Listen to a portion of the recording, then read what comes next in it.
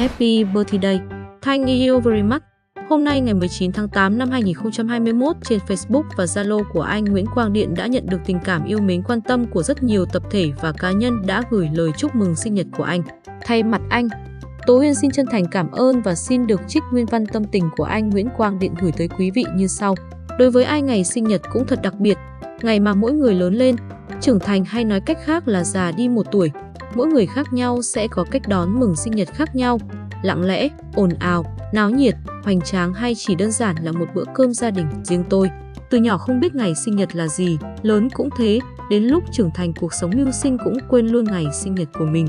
Rồi đến khi có gia đình mới được vợ yêu quý tổ chức sinh nhật cho đơn giản gia đình với một vài người bạn. Đến lúc có Facebook, Zalo thì năm nào cũng nhận được sự quan tâm yêu mến của mọi người. Vì thế cứ đến ngày sinh nhật tôi lại mong chờ những lời chúc chỉ đơn giản là để biết được còn những ai quan tâm đến mình trong cái cuộc sống xô bồ này. Và chỉ như vậy thôi cũng đủ để tiếp thêm sức mạnh giúp tôi vượt qua mọi khó khăn trong cuộc sống. Và tôi hạnh phúc vì điều đó.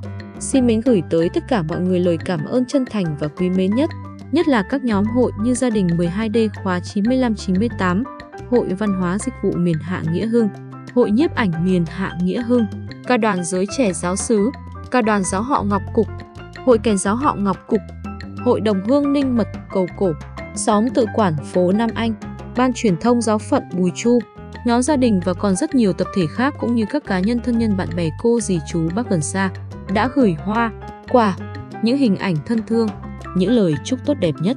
Đúng ra để đáp lại tình cảm của quý vị, Quang Điện gửi lời cảm ơn tới từng người, nhưng vì có quá nhiều tình cảm quý mến của mọi người không thể đáp từ hết mến mong được sự thông cảm, nhận tấm chân tình cũng như lời cảm ơn qua video này. Mến chúc quý vị thân thương và gia đình luôn mạnh khỏe, an lành, hạnh phúc.